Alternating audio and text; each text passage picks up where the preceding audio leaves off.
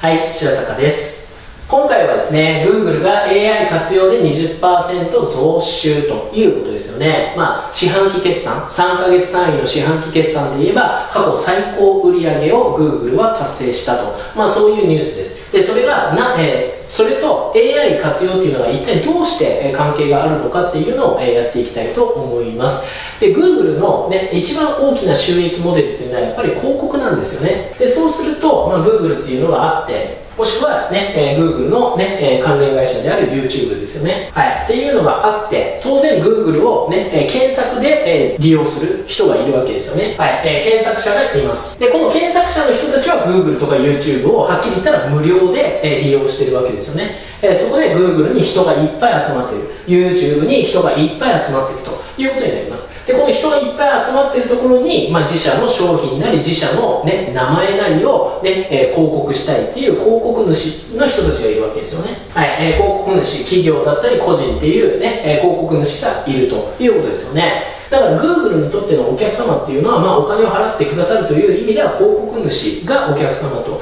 いうことになるわけです。でそうした時に広告っていうのはこっちのこう広告主企業の側からするとお金を出しさえすればうまくいくってわけじゃないんですよね。で要するに最終的にはですよ。最終的には広告主の、ねえー例えば商品が売れたとかサービスを購入していただいて初めてその出した広告費っていうのを回収することができるわけですけれどもで逆の言い方をしたら自分たちの商品を最終的には買ってくれる可能性が高い方いわゆる見込み客の方をに、ね、自分たちの広告っていうのを見てほしいわけですよね。最後は自社の商品を買ってくださった方最は自社のサービスを受けてくださった方がいるから広告を出しても広告代金を回収できるわけで。で最後の最後まで自分の会社の商品を買ってくれないサービスを受けてくれない人はに、ねえー見てもらうために広告費を出してたら、まあ、この広告主は、ね、採算が合わない、ねえー数字が合わないと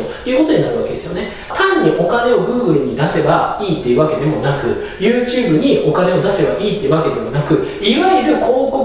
業という、ねえーことをしないといけないわけです。具体的にはどういう、えーことをしないといけないかというとまずは逆に悪い、ねえーコンテンツ、まあ、例えばホームページだとかブログだとか YouTube の動画に、ね、自社の広告を載せないっていう排除をしないといけないんですよね、まあ、はっきり言ったら品質の低いホームページ品質の低いブログ品質の低い YouTube 動画に自社の広告が出てしまうとマイナスなんですよねプラスじゃなくてね。はっきり言ったらその企業のブランドイメージっていうのが下がっちゃうわけですよ。でそして、ねテーマを選んだりあとはその投資対効果の改善ひたすら改善ですよね。もうこれはひたすらですよね。ずっとです。ね、えーこれはもうちょっと広告予算を上げた方がいいとか下げた方がいいとか余った予算は別のテーマにねお金を出した方がいいとか、えーそれこそね、え自分たちが作っている準備している広告物のね、え完成度を常にこう改善していってキャッチコピーを変えたり色を変えたりデザインを変えたり写真を変えたりとかっていうのをとにかくずっと改善し続けないといけない、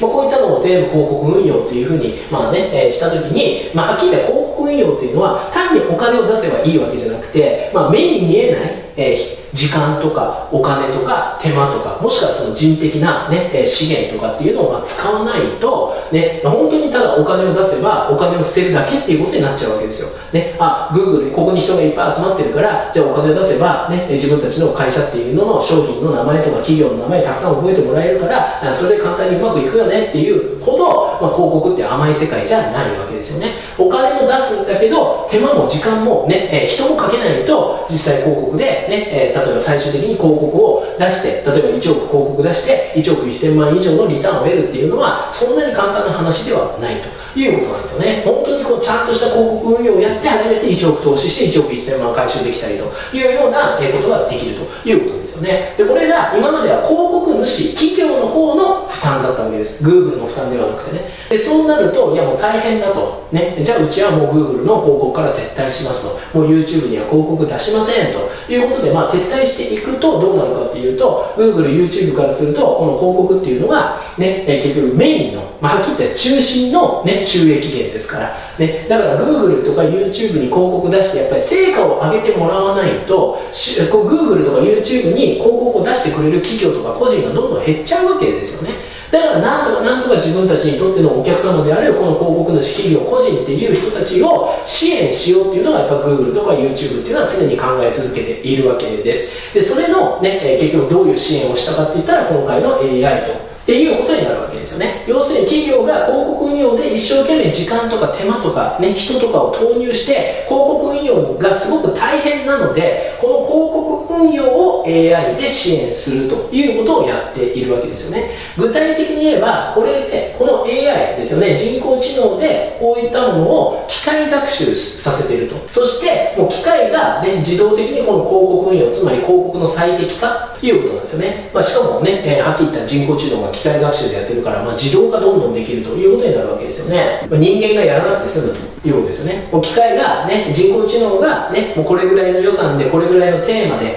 ね、こういうふうにやればね、え、例えば再生回数がどれぐらいね、伸びますよというのをどんどんどんどんね、人工知能が学習して、ね、だったらもう予算これぐらいかけた方が一番いいんじゃないですかと。でそれこれぐらい予算を一番かけた場合に、ね、一番成果が最大化しますよみたいなのをどんどんどんどんね人工知能が人間に対して提案してくるようになっているわけですよね。でそうすると今までこの人工知能っていうのが入ってなかった時に比べるとこの広告主が広告運用するための時間とか手間とかもしくはそのね人的な資源の投入っていうのが相当軽くなってるということなんですよね。でそうなるとどうなるかっていうとやっぱり今度は Google とか YouTube に広告出したいっていう人たちは今度は増えるわけですよね。例えば1億投資しました。でも1億1000万のリターンがありました。っていうことであればいやうちも広告出したいうちも広告出したいうちも広告出したいっていうことになりますから結局それが今回の GoogleAI 活用で20%増収というニュースになるということですよね。結局 Google は、ね、自分たちのお客様である広告主を人工知能を、ね、投入することで、まあ、助け支援してそして、ね、Google への広告の出稿っていうのを増やすことができてそれその結果3ヶ月四半期単位で言えば過去最高の売り上げを、えー実現させることができたと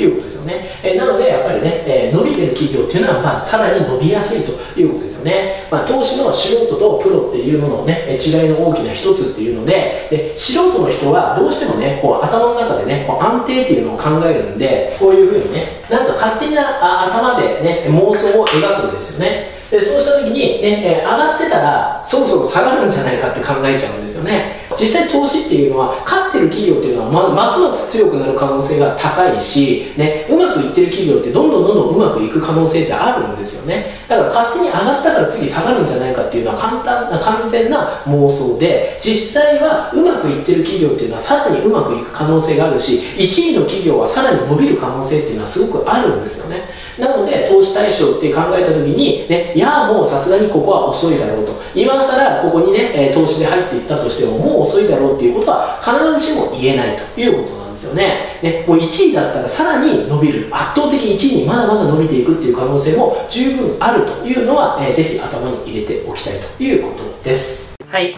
もし今回の動画がですね、あなたのお役に立ったということであれば、ぜひグッドのボタンを押して応援していただけると嬉しいです。チャンネル登録もよろしくお願いいたします。そして現在ですね、メルマガ登録していただいた場合は、特典教材をプレゼントしていますので、ぜひこの機会にメルマガをご登録ください。よろしくお願いいたします。最後までご視聴くださり感謝しています。ありがとうございます。白坂慎太郎でした。それではまた。